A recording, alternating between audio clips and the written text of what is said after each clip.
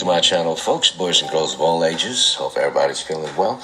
For this video, let's talk about the all-new exclusive new 2021 Honda Accord.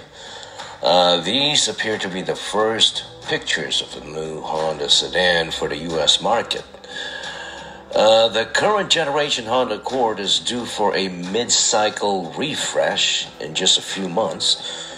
But uh, although the prototype pictured there is completely covered, don't expect anything drastic as Honda will probably stick to the usual facelift formula, which will basically include revised front end and rear lights, some new trims with wheel designs, but that should be about it.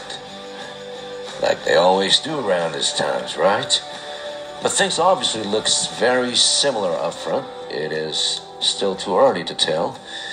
Is the chrome bar will be there replaced by a black plastic one, but the shape looks basically the same. It looks so similar that it could even be the current model covered up. The profile view is a bit more interesting. Again, it is all covered up and a bit distorted by the camera phone lens. Uh, the rear side window is all camouflage, which could mean a redesign and a new shape. Uh, it could happen, but is still very unlikely as these mid-cycle changes don't usually include new expensive glass parts. So it could just be a new trim design or something. I also noticed the rear view mirrors looks to be positioned a bit lower. That could also be due to the weird camouflage or the lens. That lens also makes the rear of the car appear shorter than it is, it seems. Or maybe, just maybe, this could be the next generation Civic. Right. The Honda Accord used to be one of the best selling cars in the US year after year, doing battle mostly against the Toyota Camry for the top spot.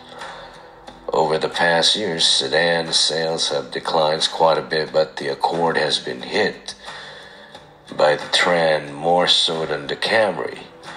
The previous generation was still enjoying over 377,000 sales back in 2017, but this new and much better one only sold around 267,000 units last year, which is quite a drop and quite a bit less than the now much and more popular Civic.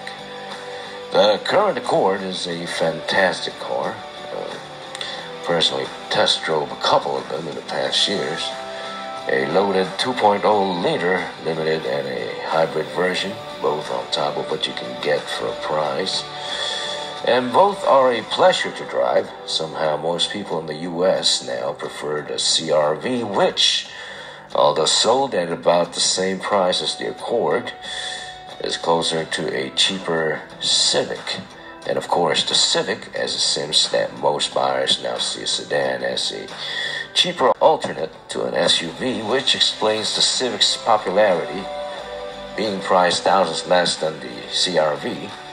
It is really too bad since the much more refined Accord is a much better car and actually can compete with even much more expensive models from other manufacturers.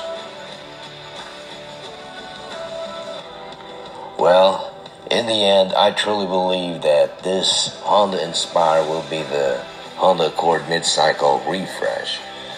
Uh, thank you so much for tuning in. Yours truly, Eddie G. We are out of here. If you enjoyed this video, press that like button and subscribe. And may everyone have an outstanding day. Peace, and we are out.